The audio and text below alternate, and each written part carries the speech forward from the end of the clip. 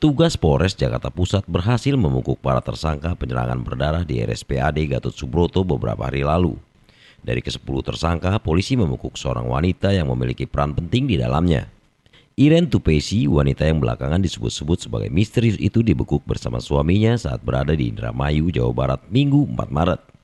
Dalam pelariannya, ibu enam anak itu sempat mengecat rambutnya yang pirang menjadi hitam kembali untuk mengelabui petugas.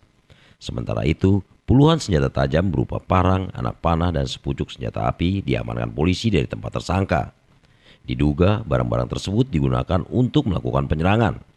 Kapolres Jakarta Pusat Kombes Polisi AR Yoyol menjelaskan jumlah tersangka keseluruhan sebanyak 13 orang, sedangkan tiga tersangka lainnya masih dalam pengejaran. Akibat perbuatannya, para tersangka terancam hukuman mati karena telah melakukan pembunuhan berencana.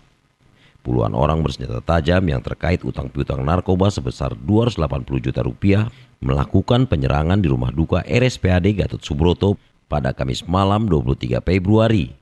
Akibat kejadian ini, dua tewas dan empat lainnya luka-luka.